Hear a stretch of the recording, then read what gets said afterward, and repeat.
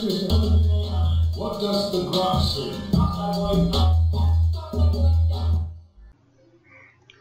Good morning, friends. Welcome once again to Nifty analysis from tradingfab.in.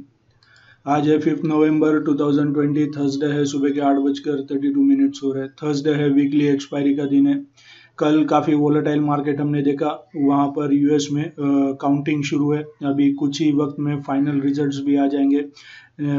Joe Biden वो Trump के आगे इस समय चल रहे हैं।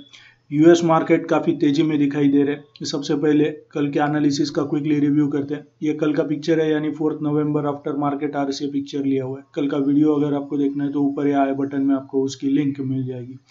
कल के प्लान के अकॉर्डिंग हमारा ब्रेकआउट लेवल बन रहा था 11,836 और ब्रेकडाउन लेवल बन रहा था 11,774 ये फाइव मिनट का निफ्टी इंडेक्स का चार्ट है जैसे कि आप देख पा रहे निफ्टी इंडेक्स ओपन हुआ ओपन होते ही ब्रेकआउट लेवल ब्रेक होने के बाद फ़र्स्ट टारगेट यहाँ पर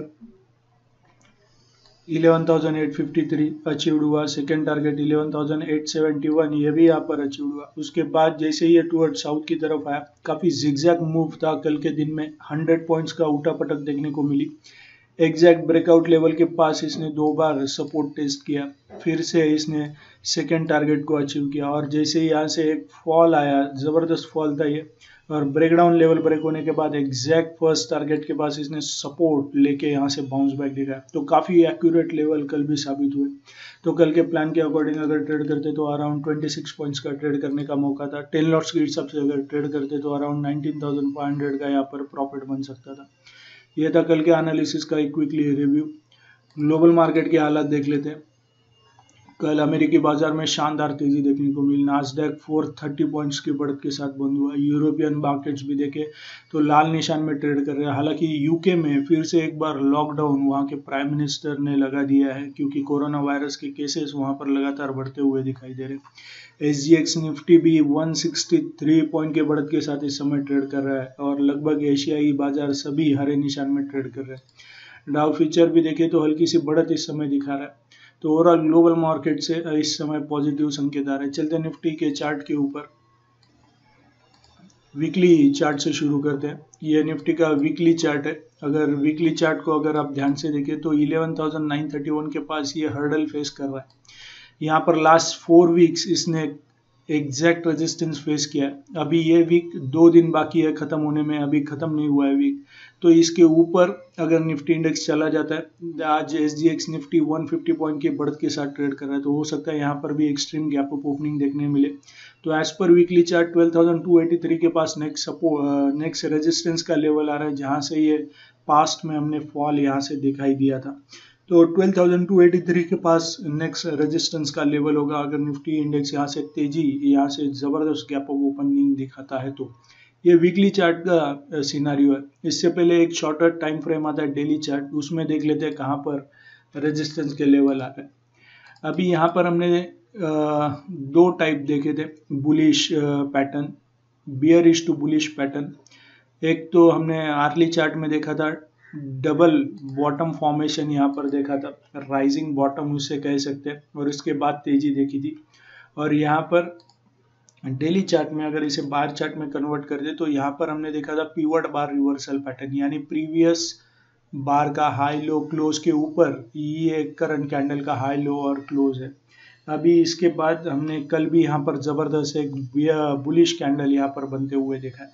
तो अगर हम यहाँ पर ये स्विंग लो हाई को पकड़ के यहाँ पर फिबोनाची एक्सटेंशन लेवल को ड्रॉ करें, ये लो तो हम देख सकते हैं यहाँ पर ये जो लेवल है अभी यहाँ से अगर ये ऊपर की तरफ़ जाता है तो पहला तो 12,000 के पास इसको हर्डल फेस करना होगा। अगर 12,000 ब्रेक होता है तो 12,153 53 के पास नेक्स्ट रेजिस्टेंस का लेवल होगा। तो इन लेवल्स के अकॉर्डिंग आप अपना पोजीशन यहाँ पर बना सकते हैं। तो ये डेली और वीकली चार्ट का सिनारियो इस समय। नीचे सपोर्ट होगा 11,750 का जो कि ये 20 एम का पिंक लाइन है। ये सपोर्ट का काम करेगा। और आर्ली चार्ट पर चलते हैं। आज के लिए इंट्राडे लेवल्स देखते हैं क्या हो सकती है। निफ्टी हो सकता है gap up extreme gap up open हो।